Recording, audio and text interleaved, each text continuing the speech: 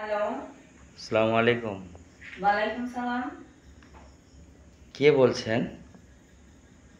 আপনি কি বলছেন? আমি রুজিনারে ফোন দিছি। ও আম্মু তো বাসায় নাই। আম্মু ফোনটা রেখে একটু দোকানে গেছে। তোমার আম্মু দোকানে আসছে? হ্যাঁ। ও আচ্ছা তাহলে তো ভালোই হলো। তা আসবে কোন সময়? আসবে একটু পরেই আসবে। আপনার কিছু বলার থাকলে বলেন আমি আম্মুকে বলব। না না বলার তো তোমার আম্মুকে কিছু না। এখন যদিও ফোন ধরছে যে তার সাথে অনেক কিছু কথা আছে আমার। আমার সাথে কথা? কেন? বলা যায় না। ও আচ্ছা ঠিক আছে বলেন কি বলবেন?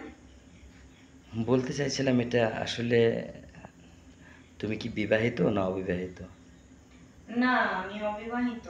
এসব কথা কেন বলেন আমাকে? যাক ভালো হলো। আসলে আমি বিয়ে করি নাই তো আর আমি অনেকের মুখ থেকে শুনলাম, রুজিনার মেয়েটা অনেক ভালো দেখতে, শুনতে এবং বাড়ির থেকে বের হয় না। তো এরকম একটা নারী আমার দরকার। তো তাই ভাবছিলাম যে যদি আপনার মানে সঙ্গে আমার একটু বন্ধনটা থাকতো, এই জন্য আর কি আপনাকে ফোন দিয়েছিলাম ও আচ্ছা। শুনেন, এসব আজাইরা কথা আমাকে বলবেন না। আপনি বিবাহিত না অবিবাহিত সেটা আমার দেখার বিষয় না, বুঝেছেন? আর আমি বিবাহিত নাকি অবিবাহিত সেটা আপনার দরকার নেই। আমাকে মানে আমি চাই না। আসলে এটা তো একটা ধর্মের কর্তব্য না।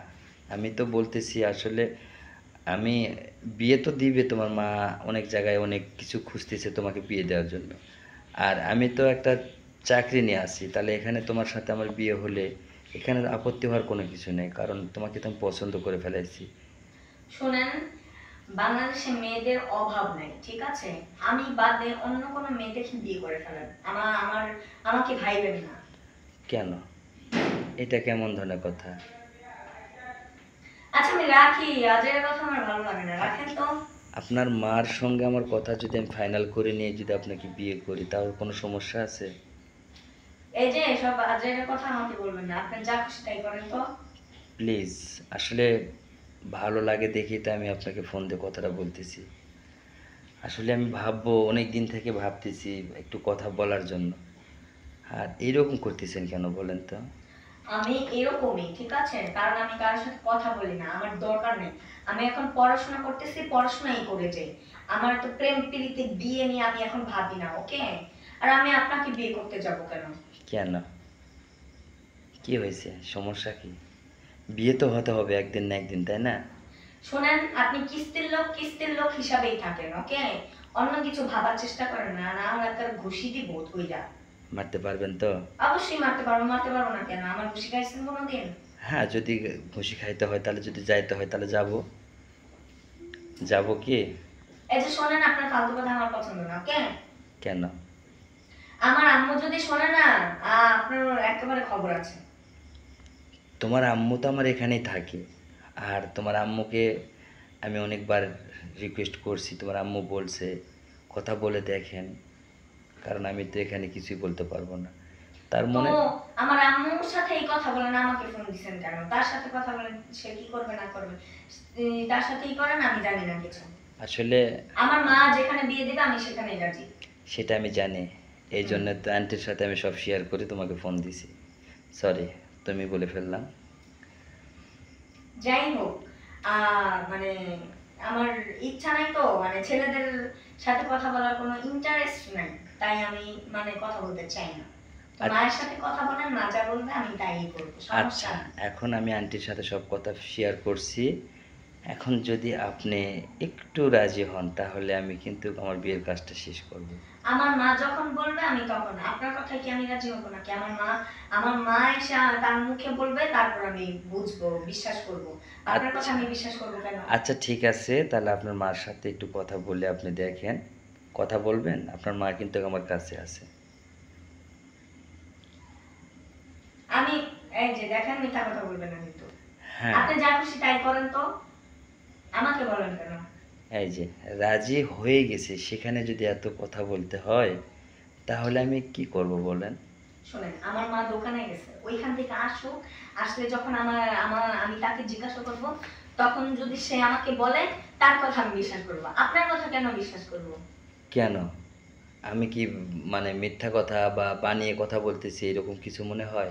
হতে হতে পারে পুরুষ মানুষ তো অনেক ই হয় শয়তান মার্কা হয় তাই না? না। মিথ্যা কথা হতো তো বলতে পারে মেয়েদেরকে তো ডিস্টার্ব করতেও পারে ফোন দিয়া। সব আজাইরা সব কথা তো সব পুরুষেরা শয়তান মনে করে কথা বলে না। আর আসলে এই নিজে মানে ভালোবাসার প্রস্তাব দেওয়াটাই কি আমার অপরাধ?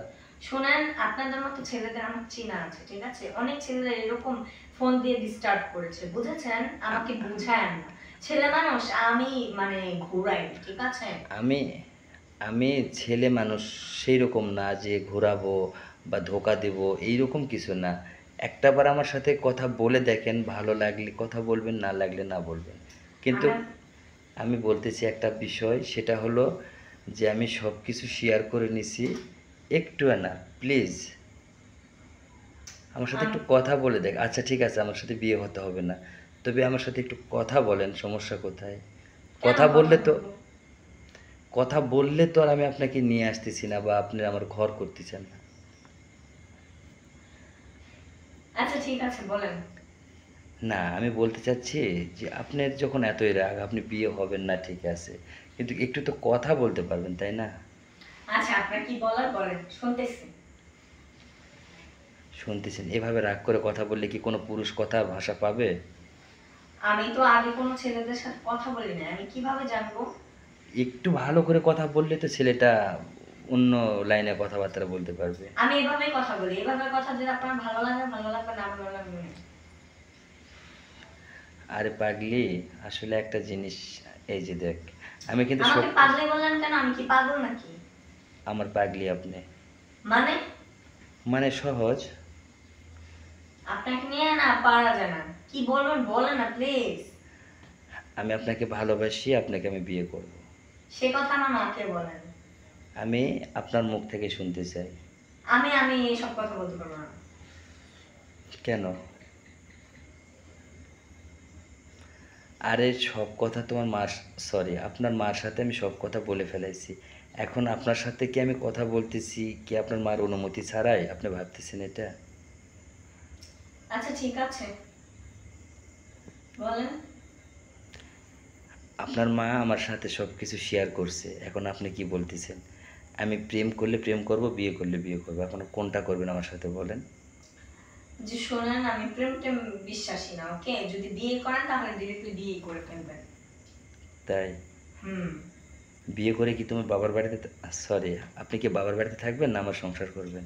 নো প্রবলেম তুমি করেই বলতে পারবেন। আর আপনি যেখানে রাখবেন সেখানে আর আমার মা আমাকে শিখিয়েছে বিয়ের পর নাকি স্বামীর বাড়িতেই থাকতে হয়। তাই? হ্যাঁ। আচ্ছা ঠিক আছে কোনো সমস্যা নেই বিয়ে করে আমি আমার বাড়িতেই রাখব। তবে এই টুনটুনিরে তো কখনো বাইরেতে দেব না। যদি আমার ভাগ্যে লেখা থাকে তাহলে তোমাকে আমি সেইভাবে রেখে দিব ঠিক আছে? ঠিক আছে। কি একটু হাসা যায় না? একটু মন ওকে হাসলাম। আচ্ছা এই যে দেখো বাঙালি মেয়েরা সবসময় হাসি মুখে কথা বললে অনেক সুন্দর মানান আসে। আর সে মানানটা তোমার মুখে আসে অনেক সুন্দর লাগতেছে। না আসলে ছেলেদের সাথে তেমন কথা বলি না তো।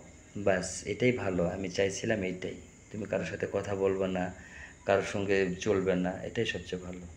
তো যাই হোক আমরা দেখা করব খুব তাড়াতাড়ি। এখন রাখি পরে কথা বলব হ্যাঁ?